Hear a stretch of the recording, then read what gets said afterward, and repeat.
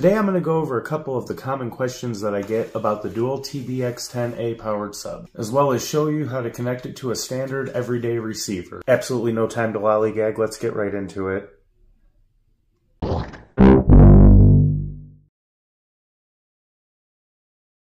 All right, so one of the top questions that I had, and the first one that we're going to start off with is, is it good? Both meaning, is it good build quality, and how is the sound quality? Well, as far as build quality, I can definitely say that it's pretty stout, pretty good.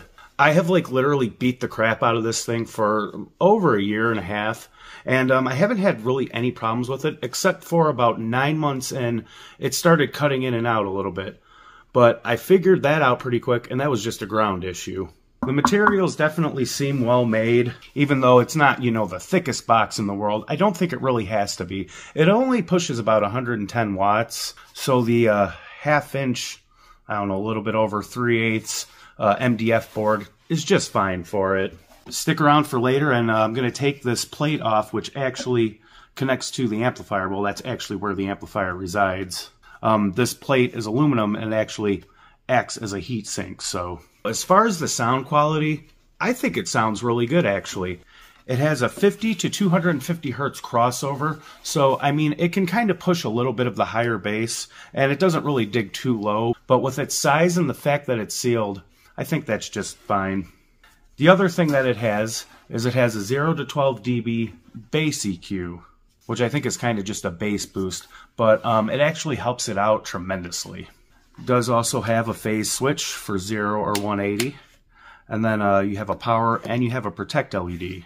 15 amp fuse it comes with, which again, it doesn't need any more than that. Now the connector is another thing I wanted to talk about.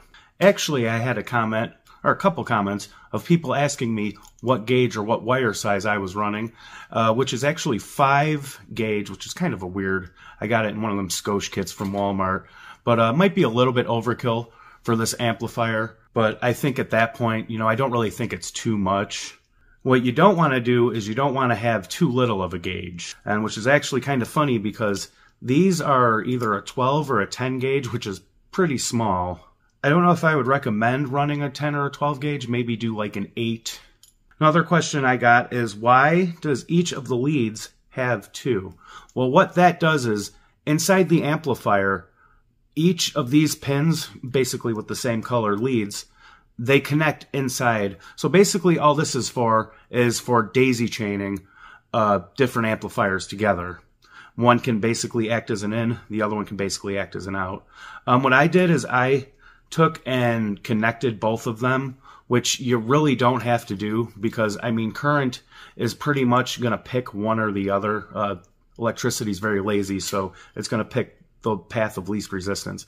And even though I have both of them connected, it's not going to help the amplifier in any way. Another question that I got, which seemed may seem kind of silly to you, but um, you know, we all, not all of us know, you know, what's going on, and we were all, you know, beginners at one point. So I got a question asking why there was no electricity or 12 volts on the blue wire. Well, what the blue wire is, is a remote. So pretty much if on the basic, most easiest level, if you wanted to run your amplifier, you need a ground, you need a positive, uh, 12 to 15 volts, and also you need your remote. Now what this does is it picks up a 12 volt signal from your radio. So basically when your radio turns on, it sends 12 volts to here, which is kind of a sense signal, which tells the amplifier to turn on. Now, to kind of get around that, if you don't have a remote wire, what I do and what I will do later, I'll show you, is basically just jump your blue and your red together. Yep, so basically connect the blue one and the red one. So another question about the wiring harness I got was, why does it have two RCAs? Um, most amps do have two RCAs, even though it is a mono amplifier. Um, what a lot of mono amps do is they will take the right and the left and actually bridge them internally. So this is a left channel and a right channel coming from your output of uh, whatever amplifier you're using or you know whatever type of head unit or or it could be an amplifier or receiver stay tuned so another question that i got and this is something that i kind of wanted to talk about uh, with these is so they're basically a truck design, kind of, you know, compact. A lot of people want to take these and put them under their seat, which you got to really think. Like I'd said before, this is the amplifier. So if you put this under your seat and then, you know, maybe have like some old gym clothes or something up against this and, uh, you know, the seat's up, heat rises. Um, I had somebody contact me and say that, you know, they put it under their seat and that it keeps cutting out. I'm gonna go ahead and imagine that uh, it's getting hot because just for that reason, kind of a victim of circumstance. So definitely in my suggestion, I would suggest to kind of leave these out in the open as much as you can. And if you do have to put them like under a seat, maybe make sure that this side with the plate is, you know, kind of closer to somewhere that's going to get more free air as opposed to being, you know, maybe like up against uh, the side of the vehicle or, you know, underneath the rail that holds uh, the seat on or somewhere that's going to get, you know, french fries and yeah. everything just kind of caught here. Uh, yeah, it's going to, it's going to get it hot. Speaking of hot, do you guys want to see something disgusting? Oh, yeah, that's a burn from a Cadillac tick converter. Be safe out there, guys.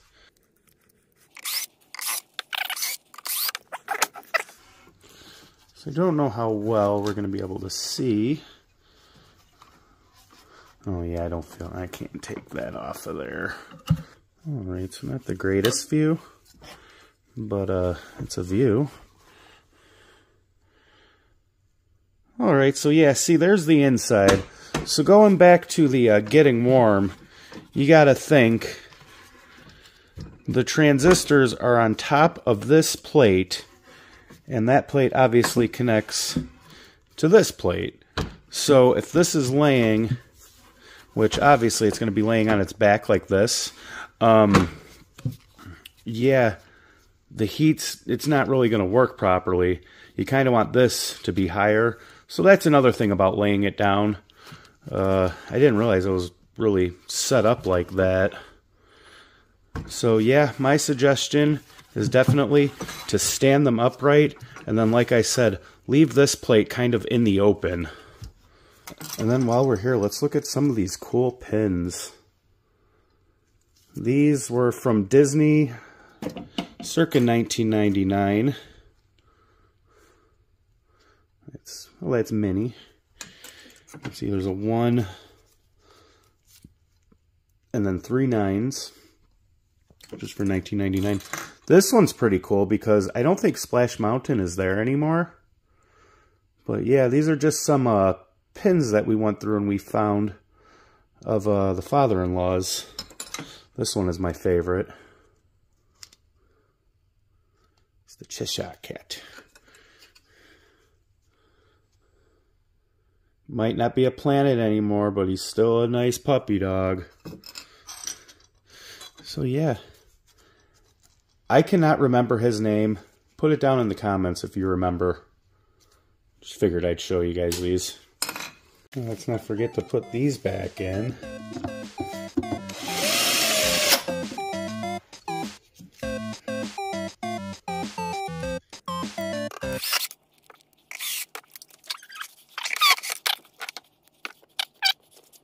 Okay, so now the moment that I'm sure two or three of you have been waiting for.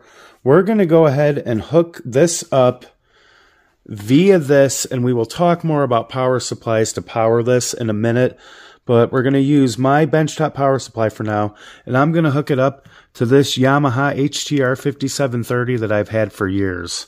Now, the thing with doing this is the easiest and best way is you need something with a subwoofer out. Now the subwoofer out is only just a single RCA, but I have these splitters, which uh, actually makes one go to two.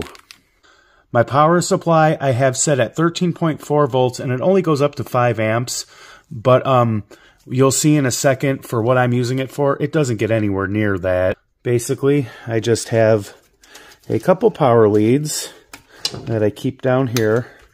And uh, they do have uh, these clips on them, so I can just hook them straight up to this. So basically what I'm going to do is, like I said before, we're going to hook our ground up to the black one, and then we're going to take the blue and the red, and we're going to connect those together, and then connect our positive to that, which that's going to turn on the amplifier. And then, seeing as we have a splitter for our RCAs, it doesn't matter which one goes into which, we will connect those. So uh, let's go ahead and actually connect the power and all of that first. Okay, so like I said, we don't really have much room. Try to get that over as much as I can. So basically, I know this looks kind of weird, just strictly for test purposes. And basically that's all you have to do. You have your power, your ground, and then your input. I'm sorry for bumping you. All right, so we'll go ahead. Uh, this got a flip? It does. Okay. So yeah, okay. Basically, our remote is connected to that. Ground is connected to that. Make sure those two don't touch. And then our inputs are connected. Can't really see it, but the receiver is on.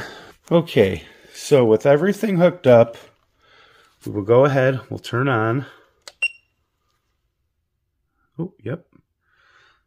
It runs about 3 watts, uh, 0.2 amps, so about a third of an amp idle, 13.4. That lets me know it's on.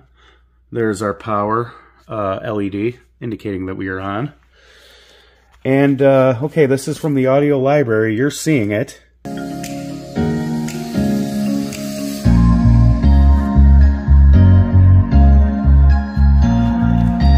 right, we're going to turn the output off.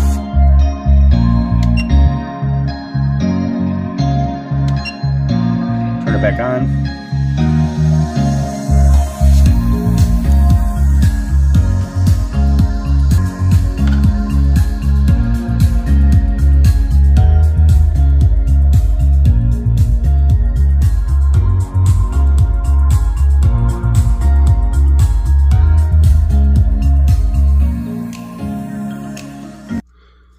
We'll try something a little bit more familiar.